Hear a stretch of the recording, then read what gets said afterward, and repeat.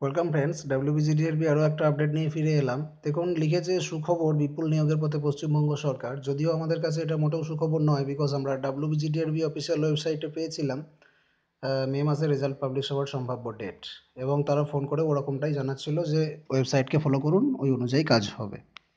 তারপরে দেখুন শেষ মুহূর্তে তারা মিডিয়ার আশ্রয় নিয়েছে যাতে কোনো রকম বিভ্রান্তির সৃষ্টি না হয়। তো আজকে ওরা রেজাল্ট পাবলিশ করতে পারছে না, সেটা মিডিয়াতে বিভিন্ন বাংলা চ্যানেলগুলো প্রচার করছে এবং অলরেডি জি চব্বিশ ঘণ্টা খবরও ছাপিয়ে বার করে ফেলেছে। দেখুন কি বলছে, চাকরি প্রার্থীদের জন্য সুখবর, রাজ্য সরকারের গ্রুপ ডির নিয়োগ পরীক্ষার ফল সম্ভবত জুনেই বৃহস্পতিবার নবান্ন সূত্রে এমনই খবর মিলেছে। যদিও নবান্নের সঙ্গে কথা বলে চূড়ান্ত দিন ঘোষণা করবে রিক্রুটমেন্ট বোর্ড দু হাজার সতেরো সালের মে মাসে রাজ্য সরকারের গ্রুপ ডি পরীক্ষা হয়।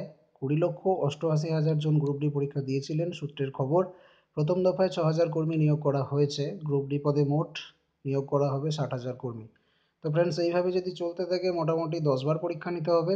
ছ হাজার করে চলতে থাকলে ষাট হাজার নিতে। তো আমরা এটাও জানি যে এই রিক্রুটমেন্ট প্রসেস কমপ্লিট হলে পরবর্তীকালে আরও ছ হাজারের ভ্যাকেন্সি আউট হবে। তো ফ্রেন্ডস এটা আমাদের কাছে ব্যাড নিউজ যে মে মাসে রেজাল্ট পাবলিশ হলো না।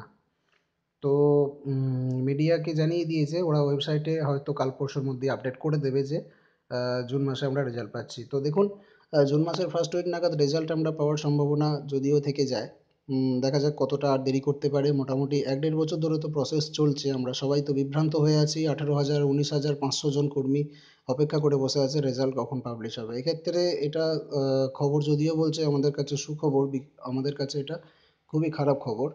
তো ফ্রেন্ডস এটুকু আপডেট দেওয়ার ছিল। আমি ভিডিওর নিচে ডিসক্রিপশানে একটা লিঙ্ক দিচ্ছি। ওই লিঙ্ক ফলো করে একটা ভিডিও আপনারা দেখে আসুন। আই হোপ কিছু জানতে পারবেন। Thanks for watching this video